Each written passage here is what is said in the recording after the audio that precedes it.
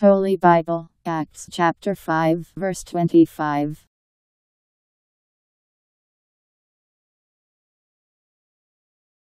And someone came and said to them, The men, whom you put in prison, are in the temple teaching the people.